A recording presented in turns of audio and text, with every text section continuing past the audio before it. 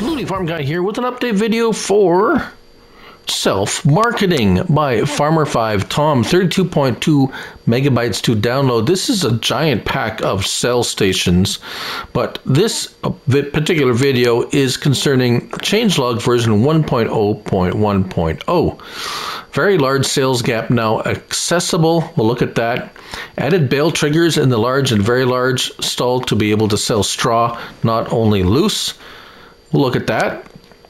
Added the possibility to name all stalls and uh, added the possibility to sell straw and hay at the large stalls. So some of that is a bit strange um, because I only found one sell station that took bales and that's this one here and as you can see it doesn't take grass no so no grass just straw and hay uh, where do we find them under production and selling points and here is everything in that pack these vending machines so milk um, cheese butter eggs this is a fruit one uh, milk vending uh, used. Uh, there's a decoration one.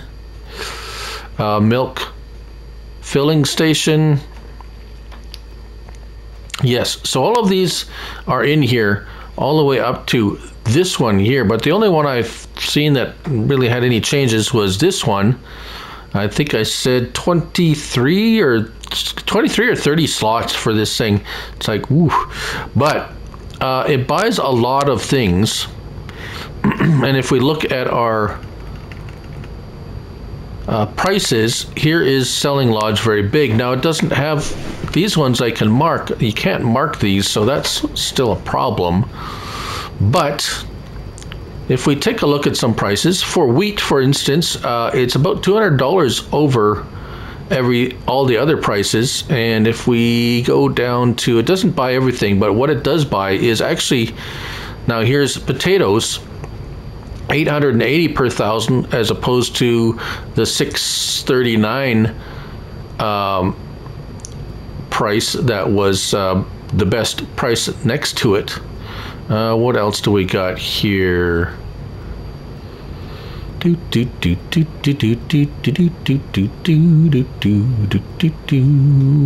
there we go. Uh, flour, uh, six hundred dollars over the nearest other nearest price. Uh, here is butter. Um, well above the price of the other ones by about 600 bucks at least.